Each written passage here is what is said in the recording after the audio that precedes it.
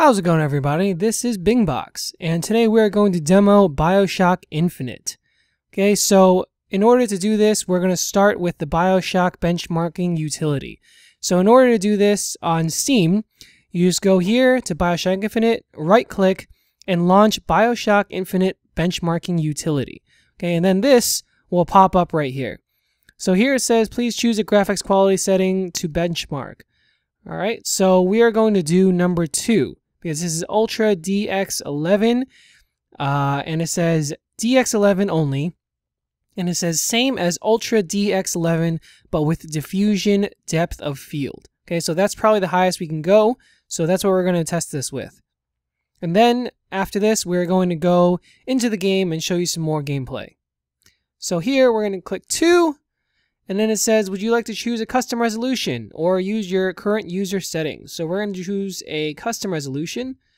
Uh, number one, 16 by 9. Okay, and the desired resolution that we have for this monitor is 1920 by 1080. Okay, 16 to 9 ratio, 1080p HD. So that is number four. Okay, and ben benchmark will use configuration.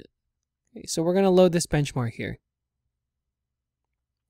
There's no sound for this.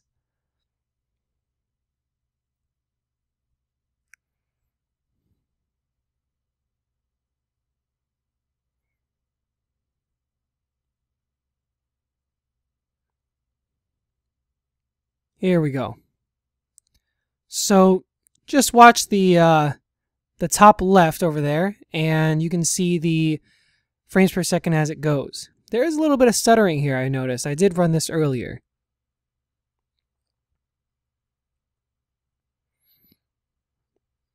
And I'm not sure if VSync is on in this setting. So there does seem to be a little bit of screen flickering, screen tearing.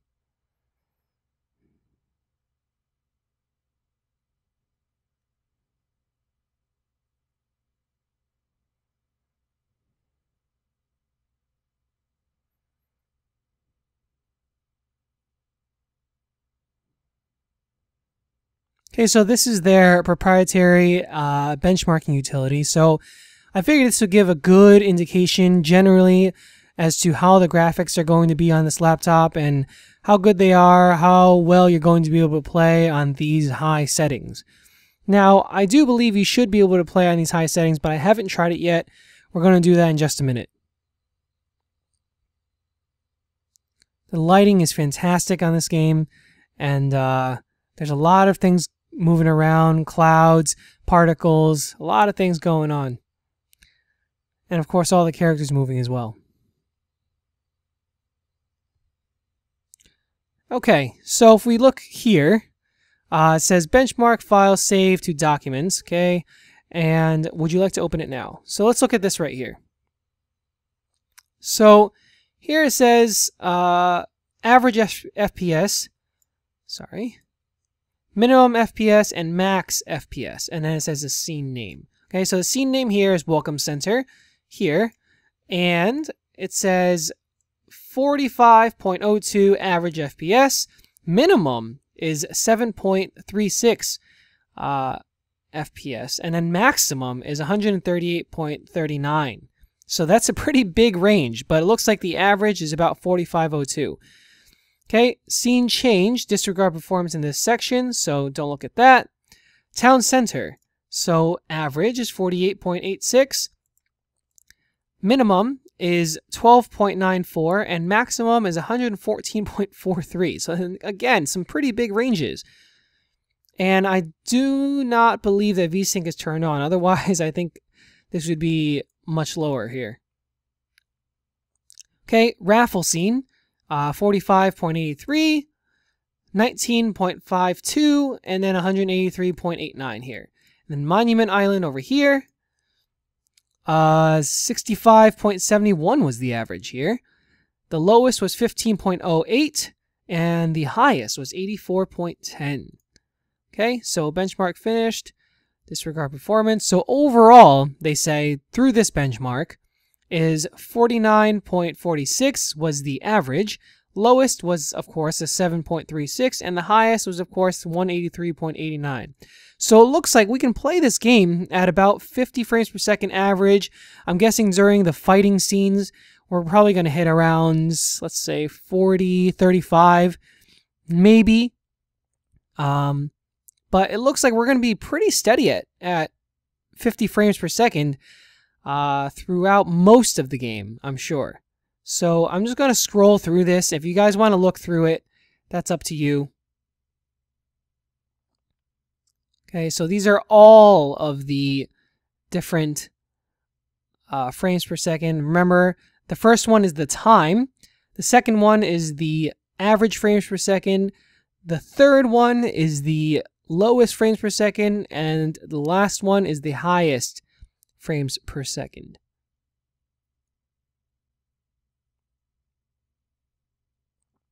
Okay, so just disregard some of these that say disregard performs in this section. Okay, and of course all of this is just the settings here. Okay. So here we are inside the game, and I'm just going to show you guys a little bit of the gameplay outside of the benchmarking utility. Okay, so let's just go into the options first, the graphic options. And we'll just run through this list really, really quickly. So here we have the custom set. You can set it to preset ultra, but we want to change a few things based on our current setup. So anti-aliasing is on. You don't get the whole four times, eight times, 16 times, whatever. It just is on. Okay, so texture detail ultra. Filtering detail. Post-processing is normal. You can also change the alternate. Not quite sure what it does. Um, but let's just keep it on normal. It says it shows all the scenes in the game as originally intended, so I'm not going to mess with that. Light shafts is on.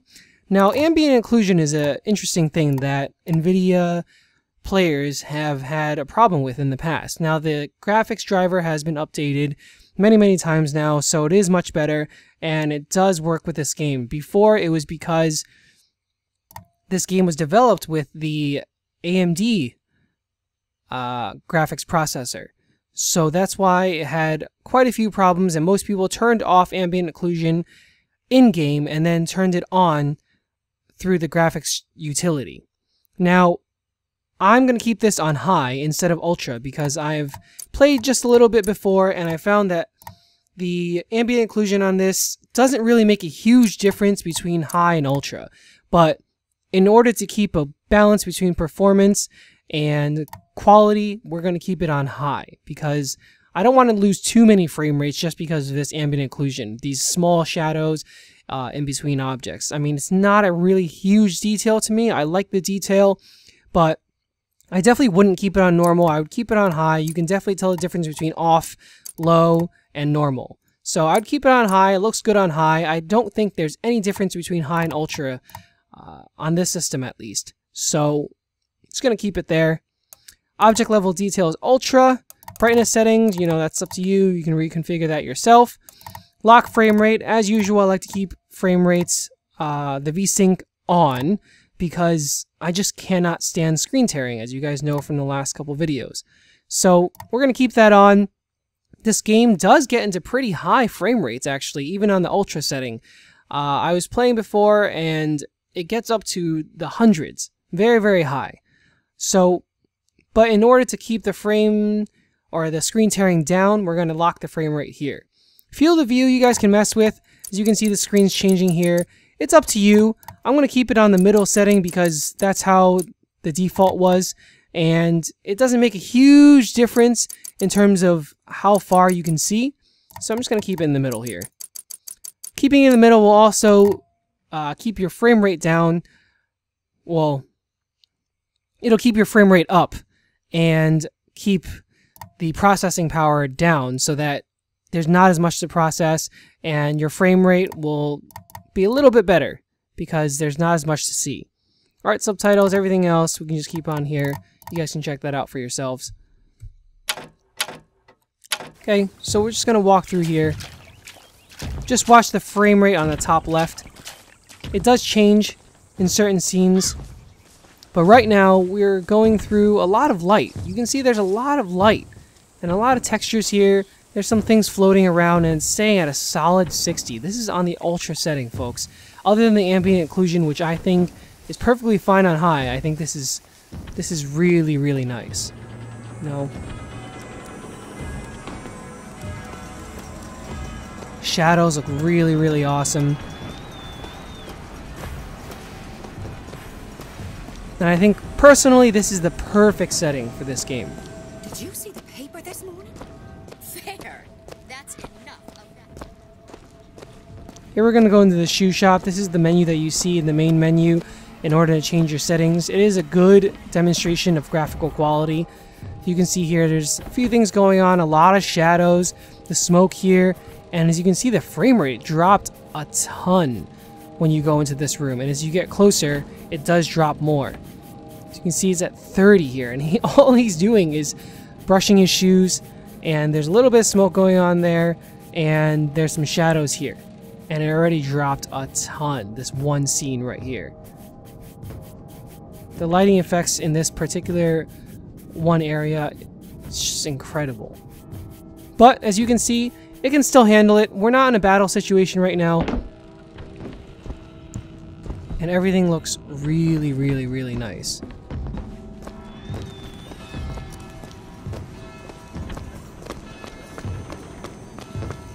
I'll just walk with you guys through this town.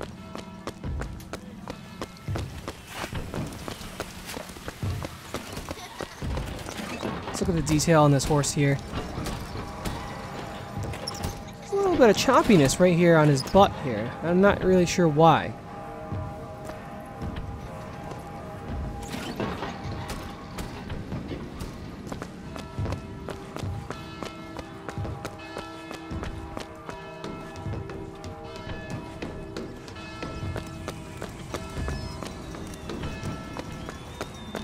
Go indoors again.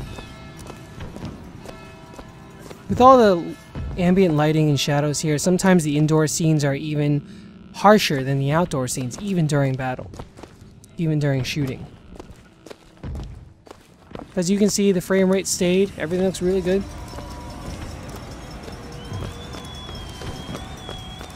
Particles flying in the air.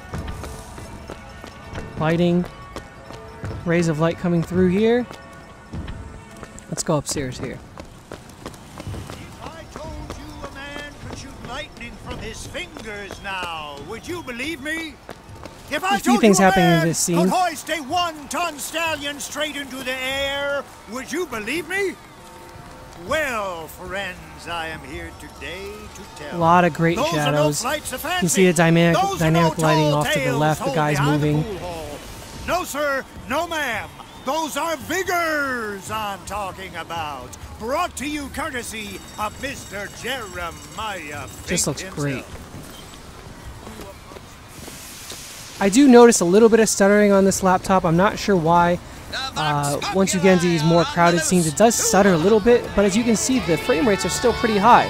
So I'm not really sure what that is, but there is a little bit of stuttering. Sometimes. Not always, though.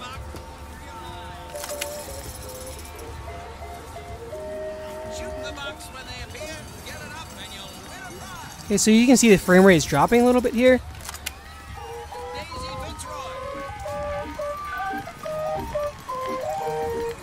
Just watch the frames.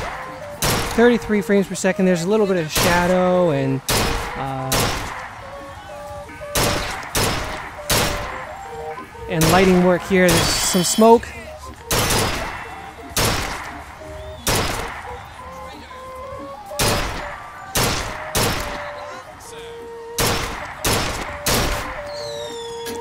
Least it does stay above the 30 frames per second, which is really, really nice.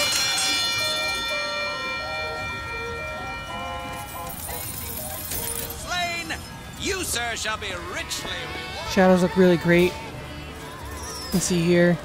It still stays above a playable 30 frames per second no matter what. So I would suggest these settings that you saw earlier. This is Bingbox. Let me know what other games you guys want to see. And drop a comment down below. Leave a like in the like section. Leave a dislike if you'd like. Subscribe for new videos coming soon. I'm going to try to do some more Let's Plays instead of Let's Demos. And I will see you guys next time.